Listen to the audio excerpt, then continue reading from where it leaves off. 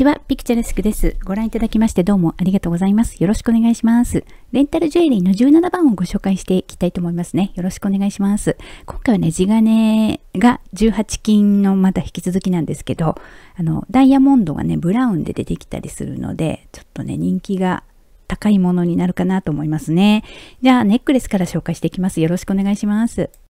いろいろね、あの、見てるんですけどね、ジュエリーね。これと同じのは見つけたことがないです。長い間ですね。あのね、これもらったものなんですけどね、親戚の方からもらったやつなんですけどね、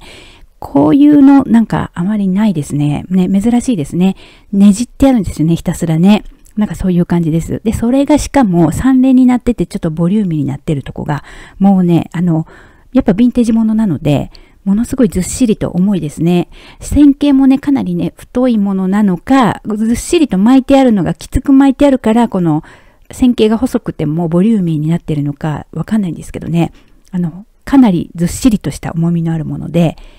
根元から全部3連、あの、ねじって3連になっていますね。長さはね、45センチありますね。ちょっとセーターのとこからちょんとも出る感じ、45センチあればそういう感じになりますね。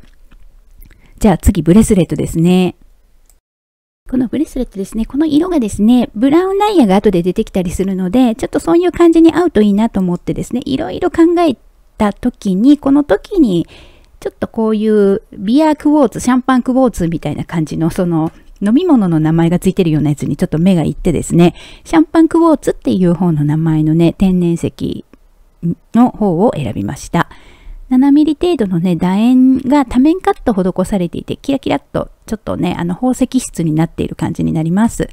とめく18金イエローゴールドを使ってるんですけど、なんかそういう感じでね、あの、他と、他のアイテムと合っていくかな。ゴールドにももちろんこの色ね、あの、優しいクリーミーな雰囲気で合いますしね。で、ブラウンダイヤの方に合っていくかな。次のリングでね、あ、そうか、という感じで思ってもらうと思うんですけど、じゃあリングいきますね。もですね、まあ、こういうのたまにあったりはするんですけど、全く同じものなんかはなんかあの見かけなくて、このちょっとあの、均一じゃない感じが素敵だなと思って、斜めにじゃーっとなってる感じがね、なんとなくかっこいいなって思うんですけど、ホワイト、ホワイトっていう言い方するのかな？ホワイトダイヤでいいんですね。ホワイトダイヤとブラウンダイヤが交互にね、変形したストライプのデザインがね、ちょっと入ってる感じが面白くて、なんかゴージャスでボリューミーな感じなんですね。あのリングの幅もね、まあまあ広くて、一番太いところで10ミリぐらいっていう感じに幅広っぽいイメージになるので、すごくボリューミーな感じになるんですよね。なんかそういうものですね。めちゃくちゃね、何カラットかっていうのがすごいそういう感じでもないんですよ。あの、そんなに一般的な感じのこういうね、パベダイヤの一般的な感じではあるんだけれども、このデザインがすごくこれはいいのかなって思いますね。というので、ちょっと気に入ってこういうのを調達してみましたけど、よかったです。私自分はですね、そんなにダイヤモンドあれなんですけど、この時に多分、あの、ちょっとブラウンダイヤだったからいいかなと思ってみたみたいな感じでですね、あと、ボリューミーだったから良かったんですね。なので、そういうの目向けてみた結果、やっぱりね、あのダイヤモンドをね、あの、すごく人気が高いので、ブラウンぐらいの色ついてた方がね、結構お洋服には合わせやすいのかなって私は思うんですけどね、どうでしょうかね。ですね、お洋服どんな感じをご提案しようかなということなんですけど、さっきね、やっぱりあのブラウンダイヤのお話ししたんですけど、やっぱりベージュやクリーム色などの温かい優しい無彩色な感じにこちらのリングとかね、この、まあ、シャンパンクォーツにしてもですね、あの、ネックレスにしても映えさせる感じで、なんかいいのかなと思いますね。パーティーやフォーマルな場面にも行き過ぎずに上品に華やぐことができそうな感じというふうにね、あの、思いますので、そうなんですよね。行き過ぎない感じもあるんですよね。なんかそれがね、普段にもつけちゃっても大丈夫な感じで、まあ、ゴージャスすぎてどこ行くのっていう感じでもないっていうかね、なんかそういう感じですね。で、私のこのコーデの、この組み合わせの一つとして、このネックレスがシャシャと斜めにこのコイルを描いている感じがこのリングの斜めにこうバッとあの降りているこの線のこのデザインと合うかなと思ったんですよ。この時もですね、結構このリングを選んだ理由がこのネックレスに合わせるものを探していってみたいなとこがあったので、なんかね、あの、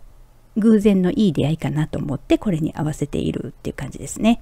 で、その時にまたブレスがね、困るんですよね。ブレスね、結構ね、最後の方だったりするんですよね。いつもそうですね。リングとね、ペンダントやネックレスは結構合うことがあったとしても、ブレスが結構あまり数がもともとないっていうのもあって、地金でできているブレスってすごく少ないなって思うんですけど、なんかそういうのでね、あの、一番最後になるんですよね、どうしてもね。そうするときに、やっぱりその、このブラウンダイヤの感じをうまく何か天然石で合うものを同じような色をしているものって何かって探しながら美薬ウォーツやサンパンクウォーツに目を向けてみたっていうことなのでなんかねその時に私もそういう石があるんだってこんな色のものもあるんだってことを知ったのでこれ別に染色してないですからね。そなんかその天然の色でこういうなんかスモーキークウォーツっていうあの茶色までもいかないような淡さがあるのでこれはこれでまたねあの優しい色でいいと思うんですよね。ということですね。はい。でお洋服はあのワンピースなんかだと、まあ、クリーム色とかベージュ色とかに映えさせるみたいなことをさっきね申し上げましてやっぱそんな感じでいいと思うんですね。あの